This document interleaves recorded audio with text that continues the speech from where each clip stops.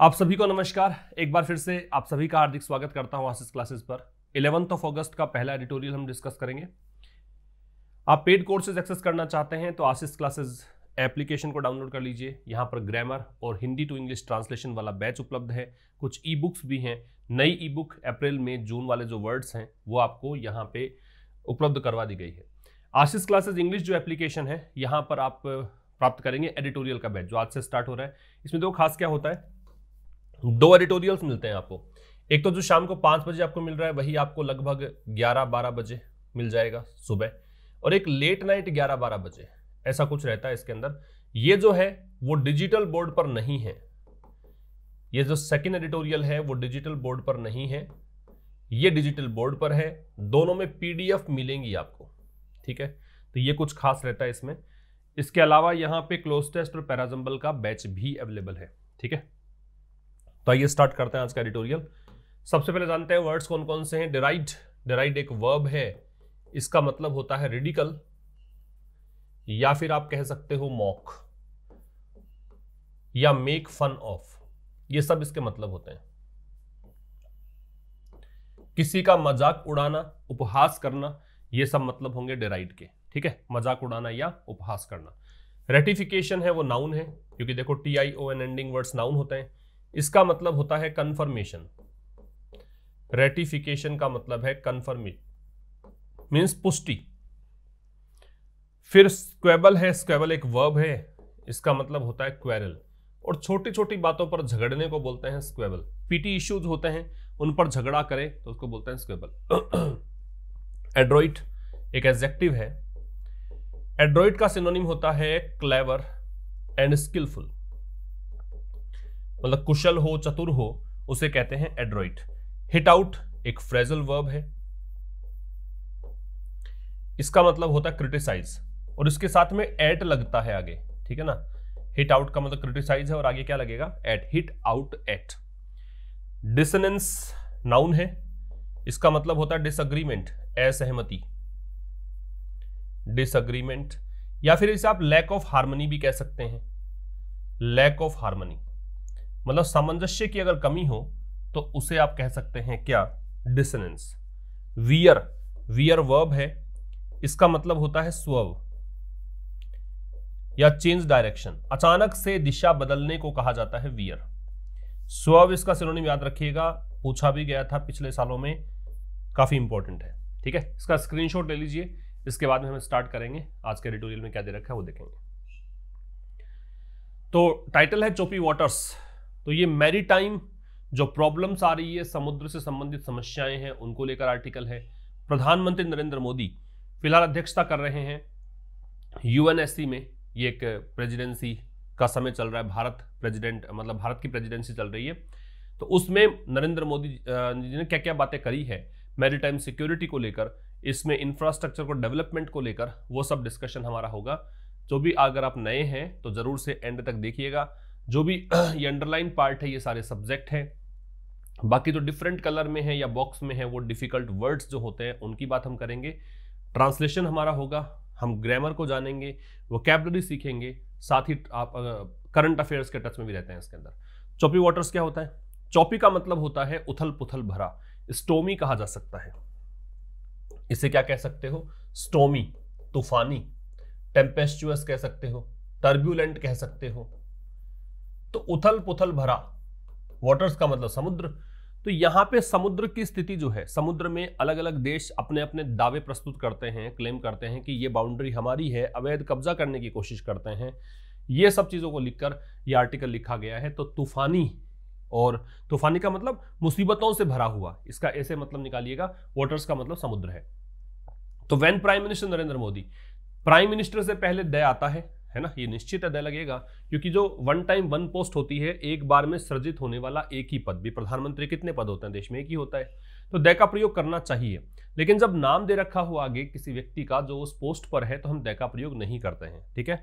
तो प्रधानमंत्री नरेंद्र मोदी ने जब टुक द स्टेज मतलब अध्यक्षता की, है ना? टेक द स्टेज का मतलब अध्यक्षता मान लीजिए, या फिर इन्होंने मंच पर गए और उन्होंने बोलना शुरू किया, संबोधन किया टू एड्रेस संबोधन करने के लिए, किसका संबोधन? यूएनएससी का।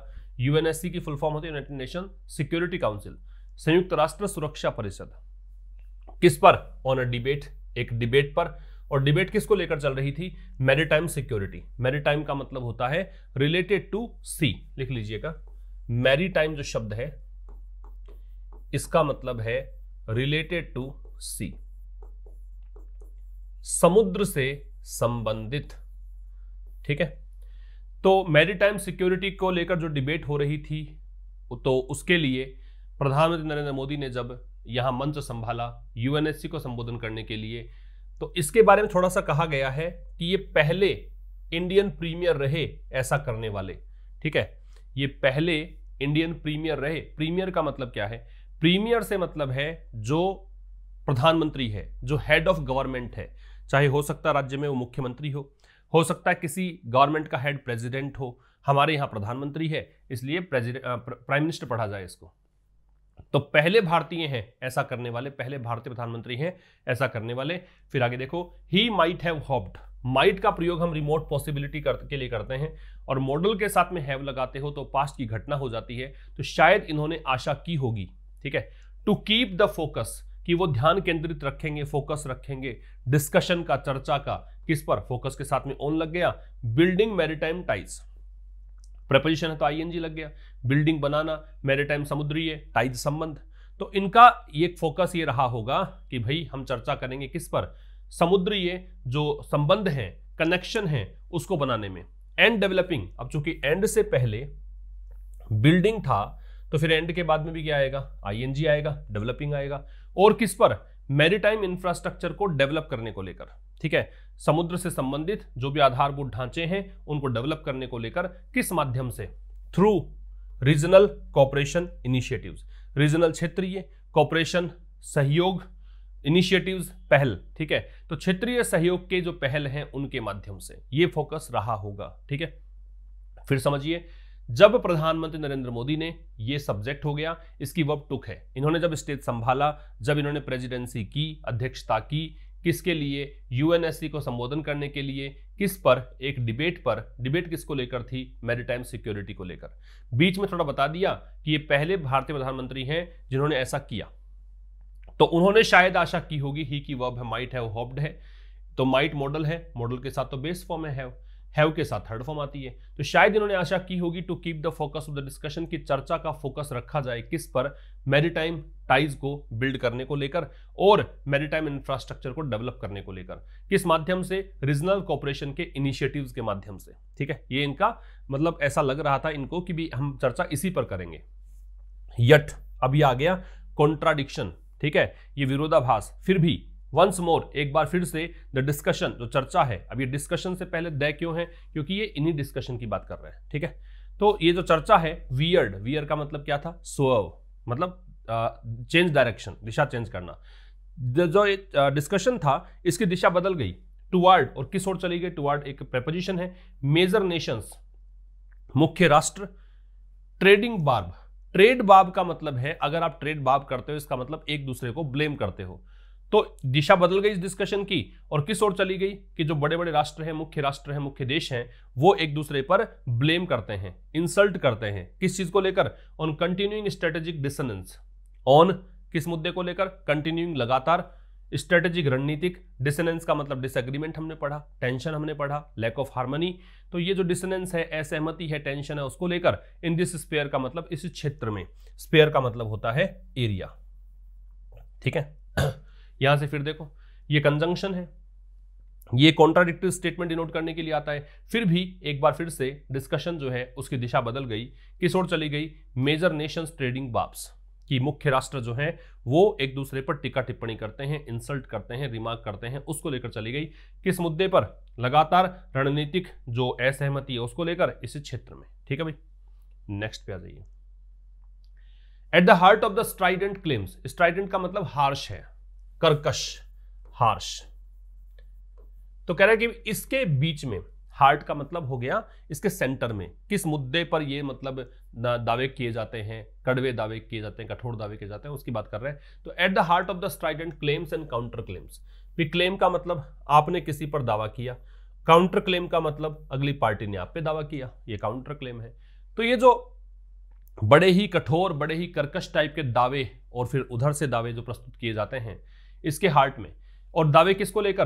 काउंटर क्लेम किसको लेकर? रिगार्डिंग। रिगार्डिंग का मतलब इससे संबंधित। एलिगेशन मतलब आरोप। किसका आरोप? Of abuse of maritime resources abuse का मतलब है यूज़ का ऑपोजिट है, दुरुपयोग। जो मैरिटाइम रिसोर्सेज है, जो समुद्रीय संसाधन है, उनका दुरुपयोग को लेकर जो आरोप लगाए जाते हैं, उसकी बात है। एंड डिसरेस्पेक्ट और जो अपमान किया जाता है, किसका? टेरिटोरियल मतलब क्षेत्रीय। क्षेत्र से संबंधित। सॉवर्निटी मतलब होता है कंट्रोल अथॉरिटी लिख लीजिएगा। कंट्रोल या अथॉरिटी ठीक है? मतलब नियंत्रण को कहते हैं या अथॉरिटी को कहते हैं। तो और जो डिसरेस्पेक्ट है, क्षेत्रीय संप्रभुता को लेकर कंट्रोल या अथॉरिटी को लेकर rights of nation sovereignty rights का मतलब क्या हो गया? कि किसी देश के अधिकार हैं कि भी ये ये जो सीमा है, ये हमारी है, हमारा इस पर अथॉरिटी है, हमारी इस पर कंट्रोल है। ठीक है? वर, अब इसके सेंटर में कौन कौन थे? इसके सेंटर में कौन है? यूएस है। ऑन द वन हैंड एक तरफ़ यूएस से पहले दया आता है, जिस भी देश के नाम के साथ यूनाइटेड जुड़ा हुआ रहे, वहाँ दया लगता है। और दूसरी तरफ़ कौन है? चाइना एंड रशिया है। ऑन द अदर दूसरी ओर। ये रशिया भी यहाँ पे सब्जेक्ट होगा भी इसका, ठीक है? तो कह रहा है कि भी जो strident claims and counter claims होते हैं, जो बड़े ही कर्कश दावे किए जाते हैं, आरोप प्रत्यारोप लगाए जाते हैं, किसको लेकर? मैरिटाइम रिसोर्सेज के दुरुपयोग को लेकर। और जो क्षेत्रीय जो सीमाएँ हैं, उनका जो सम्मान नहीं किया जाता है, उनका उनके जो सेंटर में जो बात है, वो कौन से देश है? वो एक तरफ़ तो यूएस है, दूसरी तरफ़ चाइना और रशिया है, ठीक है? मिस्टर मोदी डिजर्व्स क्रेडिट मतलब मिस्टर मोदी को श्रेय मिलना चाहिए। कोई अगर डिजर्व करते हो, कोई काम, इसका मतलब ऐसा होना चाहिए। तो मिस्टर मोदी को श्रेय दिया जाना चाहिए। किसके लिए? Bringing to the table bring to the table का मतलब क्या है? डिस्कशन के लिए वो चीज़ लेकर आए हैं, ठीक है? ये प्रिपरेशन हो गया तो आईएनजी लग गया। तो मिस्टर मोदी को श्रेय मिलना चाहिए किसके लिए? कि वो एक ऐसा मुद्दा लेकर आए हैं टेबल पर अ फाइव प्रोंग प्लान पाँच सूत्रीय योजना। प्रोंग का मतलब होता है स्टेज पॉइंट प्रोंग का मतलब स्टेज या पॉइंट मतलब पाँच पॉइंट में एक योजना ये लेकर आए, किस लिए? टू एनहांस एनहांस का मतलब होता है इंक्रीज बढ़ाने के लिए। क्या? मैरिटाइम सिक्योरिटी समुद्रीय सुरक्षा वर्ल्ड वाइड पूरे विश्व भर में थ्रू किस माध्यम से? कॉपरेशन के माध्यम से, सहयोग के माध्यम से। इंक्लूडिंग जिसमें शामिल है इंक्लूडिंग प्रेपोजिशन है भाई। इंक्लूडिंग एक्सक्लूडिंग प्रेपोजिशन होते हैं, ठीक है? जिसमें शामिल है क्या? रिमूविंग बैरियर्स की जो बैरियर्स हैं, उनको हटाया जाए। To legitimate maritime trade legitimate का मतलब होता है लीगल बनाना लीगलाइज करना, ठीक है? इस लेजिटिमेट का मतलब है लीगलाइज करना, ताकि वैध किया जा सके। सही ठहराया जा सके, जो समुद्री व्यापार है उसको। दूसरा क्या है? सेटलिंग मैरिटाइम डिस्प्यूट्स जो समुद्री विवाद हैं, उनको सेटल किया जाए। पीसफुली शांति से पीसफुली एडवर्ब है। And based on international law और किसके आधार पर? अंतरराष्ट्रीय कानून के आधार पर। Jointly facing natural disasters and maritime threats created by non state actors non state actor का मतलब होता है कोई भी इंडिविजुअल कोई व्यक्ति या कोई संस्था, जो कि किसी देश या किसी सरकार से संबंधित नहीं है, उसको बोलता है non state actors jointly facing जो कि संयुक्त रूप से मतलब संयुक्त रूप से फेस किया जाए, संयुक्त रूप से सामना किया जाए, किसका? नेचुरल डिजास्टर्स का, प्राकृतिक आपदाओं का एंड मैरिटाइम थ्रेट्स और समुद्रीय खतरों का. किसके द्वारा क्रिएट किए गए हों? वो खतरे जो कि नॉन स्टेट एक्टर्स ने क्रिएट किए हों. प्रिजर्विंग अगला काम क्या है? प्रिजर्व करना. ये सब देखिए आईएनजी आईएनजी दे रखा है. ये काम करना है. ठीक है? फिर ये काम करना है। इसके बाद में यहाँ पे देखिए फेसिंग ये काम करना है, फिर अब ये काम करना है। प्रिजर्विंग मैरिटाइम एनवायरमेंट जो समुद्रीय वातावरण है, उसको प्रिजर्व करना। प्रिजर्व करना मतलब मेंटेन करना। उसको और ज़्यादा उसका डिके नहीं होने देना, उसका क्षय नहीं होने देना। एंड रिसोर्सेज संसाधनों को प्रिजर्व करना। एंड एनकरेजिंग अगला काम ये है। रेस्पॉन्सिबल मैरिटाइम कनेक्टिविटी रेस्पॉन्सिबल जिम्मेदारीपूर्ण मैरिटाइम समुद्रीय कनेक्टिविटी पता ही है आपको तो इसको एनकरेज करना, प्रोत्साहित करना। फिर समझिए। मिस्टर मोदी को श्रेय मिलना चाहिए तो डिजर्व जो है, वो मिस्टर मोदी के लिए वर्ब है। किसके लिए श्रेय मिलना चाहिए? कि वो एक पाँच सूत्रीय कार्यक्रम लेकर आए हैं टेबल पर चर्चा के लिए किस लिए? ताकि समुद्रीय सुरक्षा को पूरे विश्व भर में बढ़ाया जा सके। और किस माध्यम से बढ़ा सकते हैं ऐसा? कोऑपरेशन के माध्यम से। अब वो पाँच सूत्र कौन कौन से हैं? एक तो देखो है कि जो बैरियर्स हैं मैरिटाइम ट्रेड को लेजिटिमेट करने में, कि समुद्र से होने वाले व्यापार को जो लीगलाइज नहीं करता है, जो बैरियर लगे हुए हैं, उसको हटाना। दूसरा काम क्या है? जो समुद्रीय विवाद है, उनको शांति से सेटल करना, जो कि अंतर्राष्ट्रीय कानून के आधार पर होने चाहिए। तीसरा काम क्या है? जो प्राकृतिक आपदाएँ हैं, उनका साथ मिलकर आ, क्या करना? सामना करना ठीक है? और जो समुद्रीय थ्रेट्स हैं उनका सामना करना। और ये थ्रेट्स कौन प्रस्तुत करता है? ये नॉन स्टेट एक्टर्स प्रस्तुत करते हैं ठीक है? अगला काम क्या है? मैरिटाइम एनवायरनमेंट को समुद्रीय वातावरण को प्रिजर्व करना और रिसोर्सेज को प्रिजर्व करना। और क्या है? रेस्पॉन्सिव मैरिटाइम कनेक्टिविटी को क्या करना? एनकरेज करना। बात समझ में आ रही है? आगे आ जाओ। इंडीड वास्तव में ठीक है? The acceptance at the UNSC जो एक्सेप्टेंस है। एक्सेप्टेंस का मतलब क्या हो गया? जो स्वीकृति है। एट द यूएनएससी मतलब यूएनएससी में। तो यूएनएससी एक पता ही एक संस्था है। यहाँ पर जो एक्सेप्टेंस है ऑफ़ द लेजिस्लेटिव फ्रेमवर्क किसकी एक्सेप्टेंस लेजिस्लेटिव फ्रेमवर्क की। लेजिस्लेटिव कानून से संबंधित। फ्रेमवर्क का मतलब स्ट्रक्चर फॉर यू यूएनसीएलओएस अभी यूएनसीएलओएस क्या है? यह है यूनाइटेड नेशन कॉन्वेंशन फॉर क्या है? Law on sea United Nation convention, law on sea, ठीक है, समुद्र से लेकर संयुक्त राष्ट्र का जो भी एक, कह सकते हो, कानून है, उसके लिए बनाया, कहा गया यूएनसीएलओएस तो वास्तव में एक्सेप्टेंस जो है यूएनएससी में ऑफ़ द लेजिस्लेटिव फ्रेमवर्क की एक लेजिस्लेटिव वैधानिक कानून से संबंधित एक स्ट्रक्चर को एक्सेप्ट किया गया है यूएनसीएलओएस के लिए द लीगल फ्रेमवर्क अब ये क्या चीज़ है यूएनसीएलओएस इसका परिचय दिया गया है कि ये एक लीगल फ्रेमवर्क है, एक कानूनी ढांचा है। एप्लीकेबल टू, जो लागू हो सकता है, ठीक है? जो लागू होने योग्य है, एप्लीकेबल टू लगेगा। ओशियंस में, महासागर में जो भी गतिविधियाँ होती हैं, उनसे। इंक्लूडिंग इसमें कौन कौन सी गतिविधियाँ शामिल हैं? इसमें शामिल है countering illicit activities at sea. Counter का मतलब अपोज करना, ठीक है?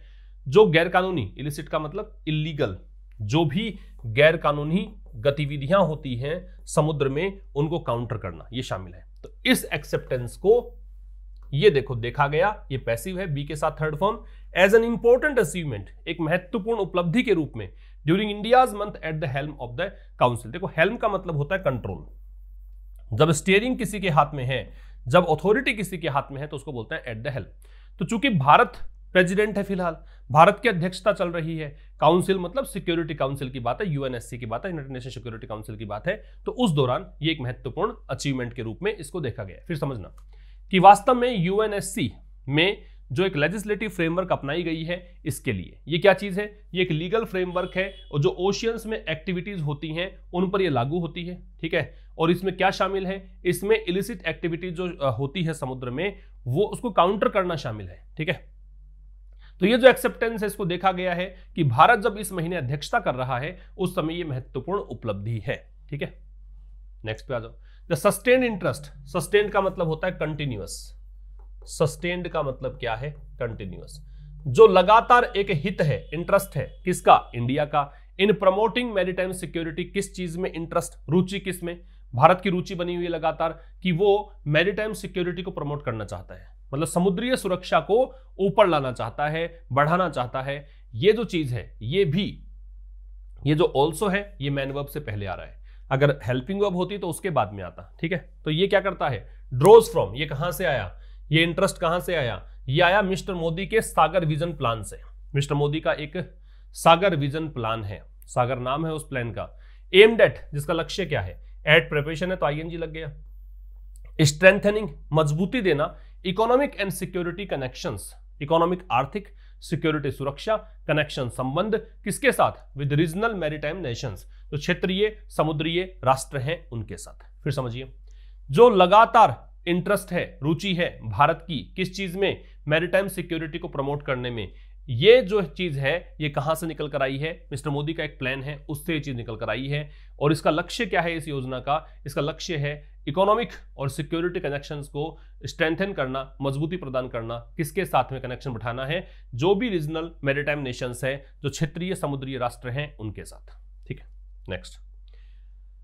If there are strategic barriers there से स्टार्ट है इफ़ तो कंजंक्शन है, और इफ़ जो है सपोजिशनल कंजंक्शन होता है, आपको कल्पना करने के लिए कहता है कि यदि ऐसा हो जाए तो।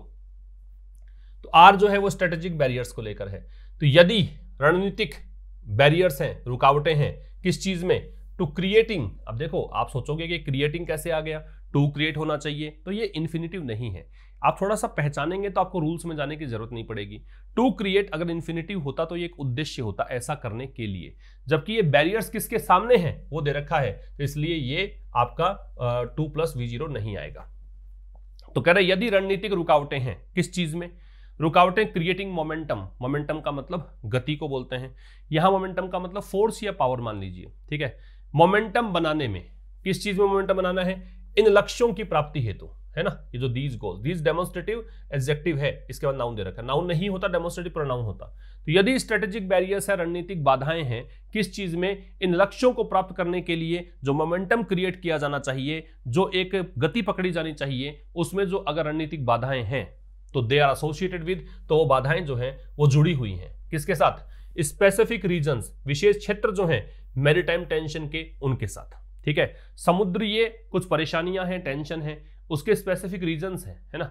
क्षेत्र हैं, उसमें इंक्लूडिंग और ये रीजन्स कौन कौन से हैं, ये क्षेत्र कौन कौन से हैं? इंक्लूडिंग प्रेपोजिशन है, इसमें ये शामिल है the south sea China sea and the black sea जो सागर का नाम हो, महासागर का नाम हो द लगता है। तो ये ब्लैक सी से पहले, ये साउथ सी से पहले। ठीक है भाई? रिगार्डिंग मतलब इससे संबंधित द फॉर्मर फॉर्मर का मतलब पहले वाला, इसका मतलब इसकी बात कर रहे हैं। सिक्वेंस में पहले के लिए द फॉर्मर का यूज़ करते हैं। फॉर्मर का ऑपोजिट होता है लेटर फॉर्मर है, इसका ऑपोजिट होता है लेटर दोनों से पहले हम द लगाते हैं, याद रखिएगा। ठीक है? तो जो पहले वाला है, जो साउथ चाइना सी है, ठीक है? US secretary of state Antony Blinken अब ये, जैसे हमारे विदेश मंत्री होते हैं, वैसे विदेश सचिव है। ये है एंटनी ब्लिंकन, यूएस के। डेराइडेड डिक्राइड डिक्राइड का मतलब होता है आलोचना करना क्रिटिसाइज क्रिटिसाइज तो इन्होंने आलोचना करी डिक्राई किया। The dangerous encounters between vessels at sea किस बारे में बात कर रहे हैं? साउथ चाइना सी के बारे में। इसके बारे में जो यूएस सेक्रेटरी ऑफ़ स्टेट है, इनका नाम एंटनी ब्लिंकन है। उन्होंने आलोचना की है, क्या कहा है? इन्होंने कहा है कि बहुत ही खतरनाक एनकाउंटर होते हैं। एनकाउंटर मतलब आमना सामना होता है, मुठभेड़ होती है। किसके बीच में? वेसल्स। वेसल्स बोट या शिप को बोलते हैं, जहाज़ या नाव को बोलते हैं। ठीक है? एट सी, इस महासागर इस सागर के अंदर। ठीक है? And provocative action. प्रोवोकेटिव मतलब भड़काऊ, और भड़काऊ कार्य होते हैं। टू एडवांस किस लिए? बढ़ाने के लिए। Unlawful maritime claims. अनलॉफुल गैरकानूनी मेरिटाइम समुद्रीय क्लेम्स दावे। ठीक है? इनको बढ़ाने के लिए प्रोवोकेटिव एक्शंस होते हैं। रिजेक्टिंग एक्शंस ये कब, क्या कहा इन्होंने, कैसे कहा? रिजेक्टिंग एक्शंस एक्शंस रिजेक्ट करते हुए। अभी एक्शंस कौन से हैं? दैट दियर रिलेटिव प्रोनाउन ये वो एक्शंस हैं जो इंटीमीडिएट करते हैं बुली करते हैं। बात एक ही है, डराना। इंटीमीडिएट और बुली का मतलब दादागिरी करना डराना। वो कार्य जो डराते हैं अदर स्टेट्स अन्य राज्यों को, अन्य देशों को, अन्य सरकारों को from lawfully accessing their maritime resources और डराते किससे हैं? कि भाई अन्य जो स्टेट्स हैं, गवर्नमेंट मान लो, उनको from lawfully accessing their maritime resources कि वो कानूनी तरीके से एक्सेस कर सकें, प्राप्त कर सकें अपने समुद्रीय रिसोर्सेज को, उनको वो समुद्र रिसोर्स भी यूज़ नहीं करने देते हैं। फिर समझना, जो फॉर्मर है, ये जो साउथ चाइना सी है, इसके बारे में इन्होंने कहा इन्होंने आलोचना करी कि ये वो जगह है जहाँ पे खतरनाक एनकाउंटर्स होते हैं वेसल्स के बीच, ठीक है? और प्रोवोकेटिव क्लेम्स होते हैं मतलब एक्शंस होते हैं, भड़काऊ काम किए जाते हैं यहाँ पे, ताकि अनलॉफुल मेरीटाइम क्लेम्स को एडवांस किया जा सके, जो गैरकानूनी तरीके से समुद्रीय दावे हैं, उनको बढ़ाया जा सके। रिजेक्टिंग एक्शंस और ये क्या किए जाते हैं? इसमें उन एक्शंस को रिजेक्ट करते हुए, वो एक्शंस जो डराते हैं अन्य सरकारों को, किस लिए? कि वो कानूनी तरीके से अपने मैरिटाइम रिसोर्सेज को एक्सेस कर सकें, उनसे डराते हैं। ठीक है भाई? सिमिलरली ठीक इसी तरीके से एडवर्ब है, ठीक है? रिगार्डिंग द ब्लैक सी अब बात करी ब्लैक सी के बारे में। पहले तो बात की थी साउथ चाइना सी के बारे में, अब है ब्लैक सी के बारे में। इसी तरीके से ब्लैक सी के बारे में the Kerch strait the sea of Azov एक तो ब्लैक सी हो गया, एक ये जल डमरू मध्य है, इसका नाम ये केर्च है, और एक है ये सी ऑफ़ अजो इनके बारे में अगर कहा तो मिस्टर ब्लिंकन ने क्या कहा? मिस्टर ब्लिंकन ने जो डिबेट चल रही थी ना यूएनएससी में, इस डिबेट में हिट आउट एट आलोचना करी। हिट आउट एट हमने देखा था क्रिटिसाइज करना। इन्होंने आलोचना करी। वॉट वॉशिंगटन कंसिडर्ड वॉशिंगटन राजधानी है यूएस की, इसलिए यूएस की बात की जा रही है, ठीक है? कि जो कुछ वॉशिंगटन ने कंसिडर किया था वॉशिंगटन की वर्ब ये अभी। ठीक है, ये सब्जेक्ट है। कंटिन्यूड अग्रेसिव एक्शंस कंटिन्यूड लगातार अग्रेसिव आक्रामक एक्शंस कार्यवाही किसके खिलाफ? यूक्रेन के खिलाफ, ठीक है? तो कह रहा है कि भाई इसके बारे में, इन तीन के बारे में बात की ब्लैक सी के बारे में कैच स्ट्रेट के बारे में सी ऑफ़ अजोव के बारे में तो इन्होंने यूएनएससी की डिबेट में मिस्टर ब्लिंकन जो वहाँ के क्या हैं? सेक्रेटरी ऑफ़ स्टेट हैं, इन्होंने आलोचना करी, किस बात की? कि जो को, जो अमेरिका ने माना था कि यह लगातार आक्रामक कार्यवाही की जा रही है यूक्रेन के खिलाफ। तो इस बात की जो कार्यवाही हो रही है ना, इसको इन्होंने आलोचना करी विच आर डिसरप्टिंग अब ये जो एक्शंस हो रहे हैं ना, उसकी बात कर रहे हैं। ये जो कार्यवाही हो रही है, लगातार आक्रामक कार्यवाहियाँ, ये डिसरप्ट कर रही हैं, ये व्यवधान डाल रही हैं। डिसरप्ट का मतलब है डिस्टर्ब करना। तो ये व्यवधान डाल रही है किसमें commerce and energy access commerce वाणिज्य, पैसों का लेन देन, व्यापार एनर्जी एक्सेस कि ऊर्जा संबंधी संसाधन है, उन तक उनकी पहुँच हो, उनको प्राप्त कर सकें। इस चीज़ में व्यवधान पड़ रहा है इन अग्रेसिव एक्शंस के कारण, ठीक है? तो विच आ रहा है एक्शंस के लिए तो एक्शंस की वर्ब यहाँ पे आर है। ऑल दो यद्यपि India presidency of the council is brief Bharat की जो अध्यक्षता है, इस काउंसिल की, कौन से काउंसिल है? यूएनएससी की। ये प्रेसिडेंसी क्या है? ब्रीफ है, संक्षिप्त समय के लिए है, ठीक है? तो यद्यपि भारत की जो अध्यक्षता है इस काउंसिल की, वो संक्षिप्त समय के लिए है, फिर भी अब चूँकि दो आ गया तो ओल दो के बाद में कोमा लगा रखा है। आप इस कोमा की जगह यट या स्टिल भी लगा सकते थे, है ना? तो ओल दो या दो अगर दे रखा हो ओल दो या दो दे रखा हो तो कंजंक्शन जो है, या तो यट लगा दीजिए, या स्टिल लगा दीजिए, या कोमा लगा दीजिए, ठीक है? तो यद्यपि भारत की अध्यक्षता जो है इस काउंसिल की वो ब्रीफ है। फिर भी, इट्स सस्टेन्ड कमिटमेंट, भारत का जो लगातार कमिटमेंट है, सस्टेन्ड का मतलब कंटिन्यूअस कमिटमेंट का मतलब प्रतिबद्धता, किसको लेकर? तो कमिटमेंट में लग गया to promoting maritime security promoting promote करना मैरिटाइम समुद्रीय सिक्योरिटी सुरक्षा. कि भारत की जो लगातार प्रतिबद्धता है कि भारत चाहता है कि मैरिटाइम सिक्योरिटी को प्रमोट किया जाए। और क्या किया जाए? ट्रेड को बूस्ट करें, बढ़ाएँ। किस माध्यम से? सी रूट्स के माध्यम से समुद्रीय मार्गों के माध्यम से। ठीक है? तो ये जो कमिटमेंट है विल रिक्वायर इसके लिए ज़रूरत पड़ेगी। It to be adroit it Bharat के लिए कि भारत क्या हो? चतुर हो, कुशल हो स्किलफुल हो क्लेवर हो। किस चीज़ में? नेगोशिएट करने में, चर्चा करने में विद दीज स्क्वेबलिंग पावर्स किसके साथ? इन लड़ाकू शक्तियों के साथ। स्क्वेबल क्वेरल करने को बोलते हैं। स्क्वेबलिंग का क्वेरलिंग होगा झगड़ालू शक्तियाँ मतलब देशों की बात है। एंड क्रिएटिव और भारत रचनात्मक हो, किस चीज़ में? सीकिंग रिजोल्यूशन रिजोल्यूशन हल। सीकिंग चाहने में कि भारत यहाँ पे रेजोल्यूशन या यहाँ पे संकल्प कह सकते हो, संकल्प यहाँ पे ले of the very real conflicts और ये रेजोल्यूशन किसका है? सोल्यूशन भी कह सकते हो। किसका है? जो वास्तव में कॉन्फ्लिक्ट्स हैं, जो लड़ाई झगड़ा है उसका, और ये किसके सेंटर में है? ये है देयर डिस्प्यूट्स उनके झगड़ों के सेंटर में। मतलब झगड़े किस कारण से होते हैं? उनके रियल कारणों में जाए। तो यद्यपि भारत की प्रेसिडेंसी काउंसिल में ब्रीफ है, फिर भी जो इसके लगातार कमिटमेंट है भारत का, कि भारत चाहता है कि मैरिटाइम सिक्योरिटी को प्रमोट किया जाए, ट्रेड को बूस्ट किया जाए समुद्री मार्गों के माध्यम से तो ये जो कमिटमेंट है, ये कमिटमेंट के लिए ज़रूरत पड़ेगी भारत को एड्रॉइड होने की, कुशल या चतुर होने की, किस चीज़ में? बातचीत करने में इन पावर्स के साथ, और ये पावर्स कैसे हैं? स्क्वेबलिंग है तो ये एब्जेक्टिव है। इन झगड़ालू शक्तियों के साथ और भारत को ज़रूरत पड़ेगी कि भारत यहाँ पे हल निकालने में रचनात्मक हो। किसका हल? जो वास्तव में कॉन्फ्लिक्ट्स हैं, है ना? और कॉन्फ्लिक्ट्स किसके सेंटर में है, किसके हार्ट में है? इन डिस्प्यूट्स के। ये देर आ रहा है इन पावर्स के लिए। तो उनके झगड़ों की जड़ जो है, उनका रेजोल्यूशन निकालने के लिए भारत को क्रिएटिव होना पड़ेगा। वाइल सम में डिराइड डिराइड का मतलब क्या होता है? उपहास करना मेक फन ऑफ़ मॉक ये बताया था रेडिकल तो हो सकता है, यद्यपि अवाइल से स्टार्टर दो क्लोज है यहाँ पे। यद्यपि कुछ जो है हो सकता है कि उपहास करें। इस चीज़ का बताया था United Nation convention law on sea है ना? किस रूप में? कि भाई एज लेकिंग टीथ टीथ का मतलब यहाँ पे दांत नहीं है, इसका मतलब पावर है। ठीक है? कि कह सकता है, कुछ, कोई आदमी कह सकता है कि कोई भी ऐसा हो सकता है कि वो उपहास करे इस चीज़ का कि इसके पास पावर तो है नहीं। फॉर एनफोर्समेंट ठीक है? किसके लिए? एनफोर्स करने के लिए, चीज़ों को लागू करने के लिए। अल्टीमेटली अंततः it is the only comprehensive framework अब यह नया उपवाक्य स्टार्ट हो गया है। तो इसको इसी रूप में पढ़ें वाइल का प्रयोग यहाँ पे ओल्दो के अर्थ में हुआ है, ठीक है? तो यद्यपि कुछ लोग जो हैं, वो हो सकता है कि उपहास करे इस यूएनसीएलओएस का। इसको ऐसे कह सकते हैं कि इसके पास पावर नहीं है लागू करने के लिए। फिर भी अंततः यही एकमात्र द ओनली द अगर ओनली से पहले है तो एकमात्र है। यही ओनली कॉम्प्रिहेंसिव फ्रेमवर्क कॉम्प्रिहेंसिव मतलब समग्र, संपूर्ण। फ्रेमवर्क मतलब एक स्ट्रक्चर तो यही एकमात्र कॉम्प्रिहेंसिव फ्रेमवर्क है लॉज का, कानून का। अवेलेबल जो उपलब्ध है, किसके लिए? मेरीटाइम पावर्स समुद्रीय शक्तियों के लिए। टू असर्ट असर्ट का मतलब दावा करने के लिए देयर राइट्स कि वो अपने अधिकारों का दावा कर सकें। कंसिस्टेंट विद वो दावे, वो अधिकार जो कंसिस्टेंट है। कंसिस्टेंट मतलब लगातार बने हुए हैं। With rules based international order नियम आधारित अंतरराष्ट्रीय आदेश। ठीक है? फिर समझना।